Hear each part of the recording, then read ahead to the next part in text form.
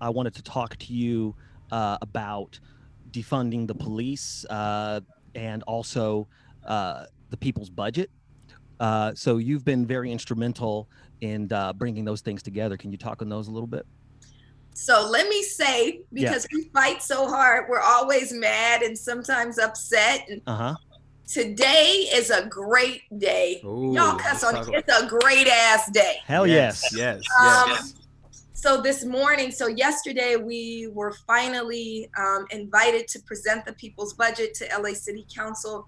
We do have one council member who's been kind of amplifying what we're doing. So mm. Herb Wesson, who's one of the three Black City Council members, um, came out first in favor of the Black LA demands, then came out um, fairly supportive of People's Budget LA. People's Budget LA is really um, the culmination of five years of work. Every year we protest the mayor's budget, which every year spends more than 50% of the city's general fund on straight up police, mm-hmm. LAPD, because they have this expansionist view of policing when they got police doing everything that they shit they don't know how to do. Mm-hmm. right? Right, like, right, right, right. So police are sitting up talking about they're serving as social workers and EMTs and drug rehab counselors. Well, they shouldn't be because right. they don't know how to do those jobs. They were not created to do those jobs. And so we've been pushing back every year. This year we were especially outraged because we're dealing with a public health pandemic with an economic fallout. Crime is plummeting. Why are you spending more on police? So this mayor tried to cut every other city department, furlough 16,000 city workers, most of whom are black and brown, mm-hmm. and then increase the LAPD budget to spend $3.15 billion on police. Ooh. So we put out, we said we're going to do things differently. We're going to put out an alternative budget. We were invited yesterday to present that alternative budget, which emphasizes defunding the police we presented it at city council yesterday. Today, that same council member who I mentioned, Herb Wesson, put forward a motion that says um, police will not be deployed for nonviolent calls. Oh, yes, yes, yes, yes. So Very this fantastic. just came out like an hour ago in the right now. This is what he's putting forward. It's a motion he's putting forward there are 15 members of the LA City Council. It has to pass. Right. Mm-hmm. So we got to work on getting it passed. But the end of the presentation yesterday, um, we challenged them and said, you know, whose are you? Right? Not just who are you. Mm. Whose are whose you? are you? Mm-hmm. Do you belong to the LA Police Protective League? Do you belong to your own political ambitions? do you belong to your ego or do you belong to the people? Wow. And so we encourage them to take courageous action. And we see that this motion is courageous action. And courageous action is happening all around the country. Minneapolis disbanding their police department, um, school districts all up and down the state and throughout the country ending their relationships with police. Um, so those are the things that um, we're pushing for, and we're really excited about. You know, one thing that um people Wait, hold on, hold on, Mike. Let's just recognize that for five seconds. Like that is that is incredible, tremendous work. I just want to recognize that. So I'm sorry, Mike, for inter- for interrupting, but go ahead.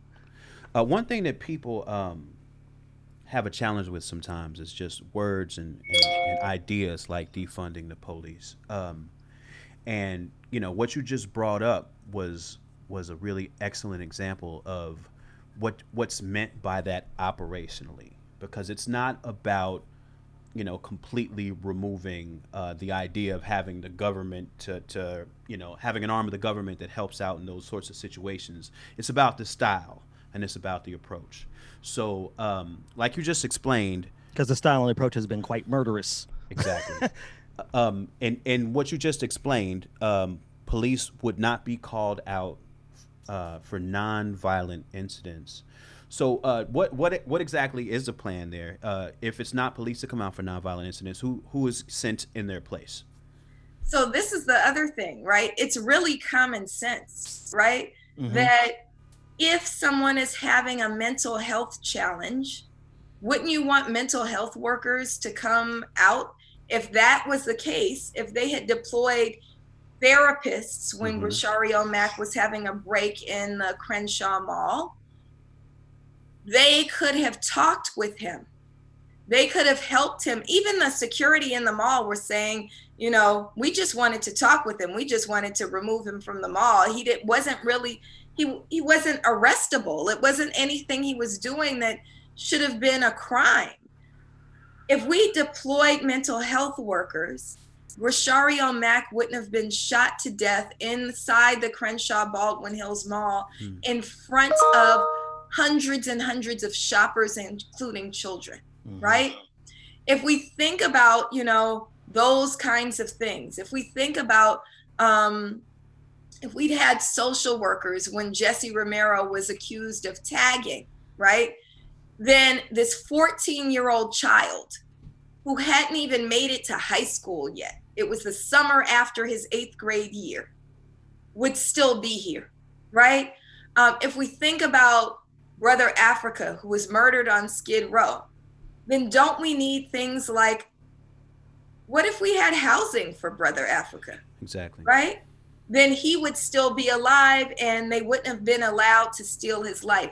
So we have to couple this call to defund the police with reimagining public safety. Mhm. So we want to live in safe communities, but we know that safety for Black people has never come through police.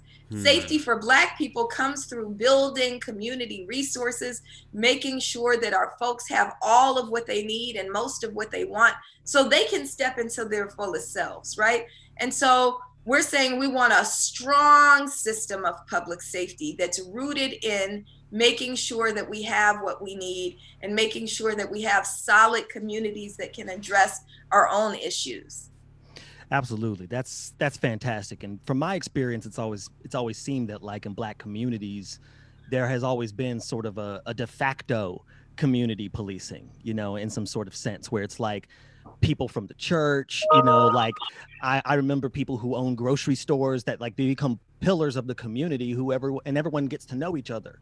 There, Right. there becomes a, a, a trust, you know, in a communication that's different than somebody else with a gun coming in to do a job that uh, doesn't need a gun, doesn't need a gun at all. Right. Whew. Everybody had that mama who sat on the porch. Yes, yes. Miss Rose in my neighborhood. And if you messed up, Miss Rose would snatch you up and she might give you a little whooping and then tell your mama. And your mama would give you a whooping, right? But police were never called, right?